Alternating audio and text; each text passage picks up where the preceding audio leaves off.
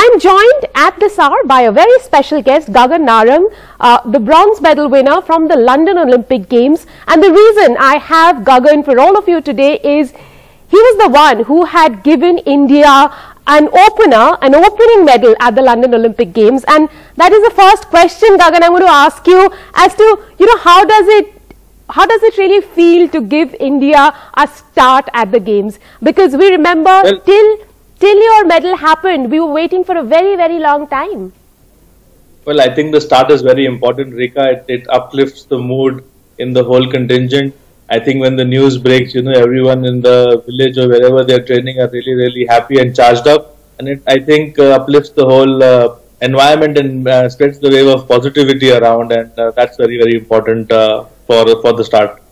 And um, you know your thing, as I said, for your medal we had to wait for a very long time, and this time it has happened on the very first day, and I think it's the for, for the first time that India has been able to get a medal on the first day. What does that really signify for the Indian contingent out there? Well, it's good that we started our uh, medal winning journey earlier on.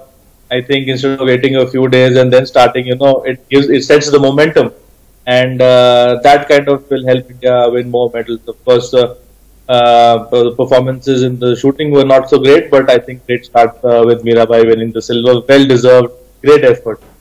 Um, well, Gagan, since you've been there, done it, let me ask you, and this is really for our viewers to know what happens now and how much time will it be till uh, Mira is able to interact with her coaches, general public, or whether she'll at all be able to interact with the general public today?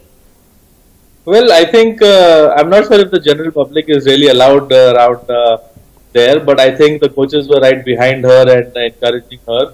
I think she will be uh, going to the uh, media center, but before that, she'll also have to give a dope test. And the dope test actually depends on how soon you can go into uh, the doping control room and then give your sample.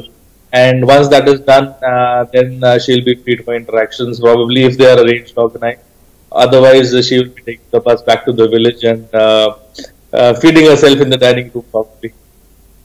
Well, I'm sure she'll be doing that. But Gagan, how long does this process takes? Uh, you know, after the after the event is over, does she does she get a medal immediately, or does she have to finish the um, you know the process at the dope control and then go for her medal ceremony? Well, absolutely. I think uh, the doping is the dope, dope control is very very important.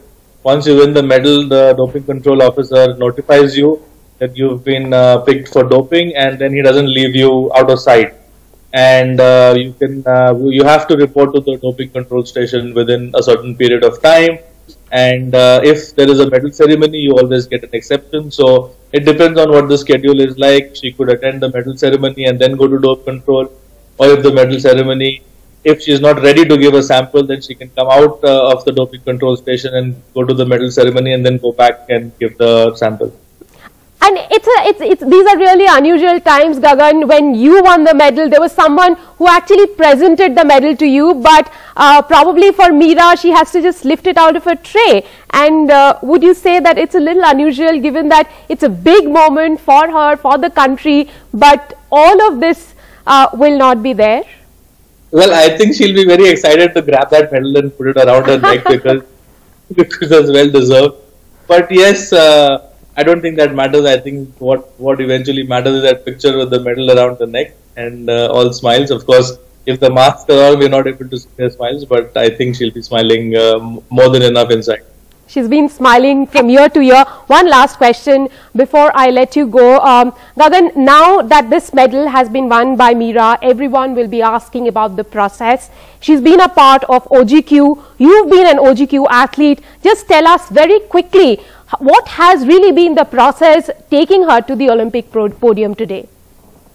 Well, I think I'm not privy to that information, but I mean, an athlete's journey is very, very grueling and tiresome. She was uh, sent to USA earlier on for training prior to the Olympics, and that kind of uh, took the mind off uh, the pandemic situation that was going on, and they all trained in a very safe environment, and that kind of helps a lot because uh, you don't have to worry about keeping yourself safe, and and uh, that is the kind of pro- process that was followed by the ministry, by the sponsors, and so on and so forth.